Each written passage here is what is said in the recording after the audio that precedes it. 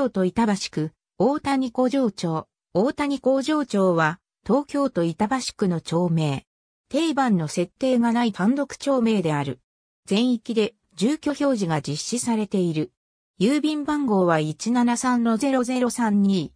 南側に中野通りがあり北側で国道254号に挟まれている。北で弥生町、東の交差点上の一点で大山町、南東で大山西町、南西で大谷口、北西で大谷口北町と隣接する。日本大学医学部及び附属板橋病院が町の半分を占め、他は住宅地となっている。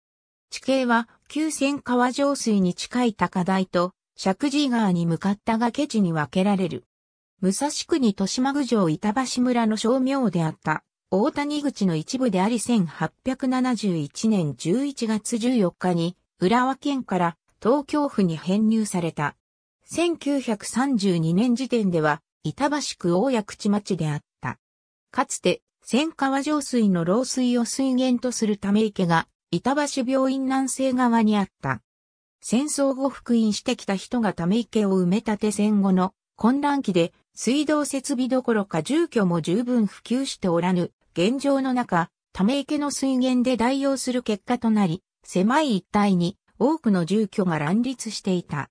道路付けも認められず、おおよそ150戸の住宅は人一人が通行できる程度の狭い通路で連絡されている。当然緊急車両の侵入は不可能である。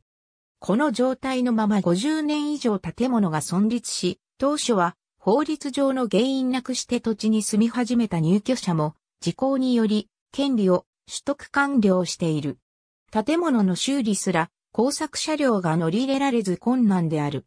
防災上また防犯上非常に問題を抱える地域であったことから最近になってようやく地元板橋区、東京都、国土交通省が改善に乗り出している。工事が進まなかったのは平穏を望む地権者の同意を得ることが難しかったからである。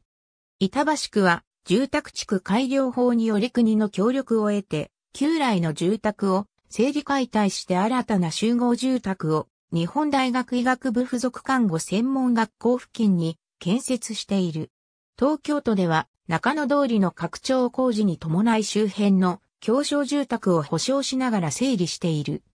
地形が窪地で特徴的であり、都心に比較的近い条件ながら最近まで古い住宅が残存していたことに都市計画、住居形成上多くの関心を引いており、各インターネットサイトや論考上引用されている。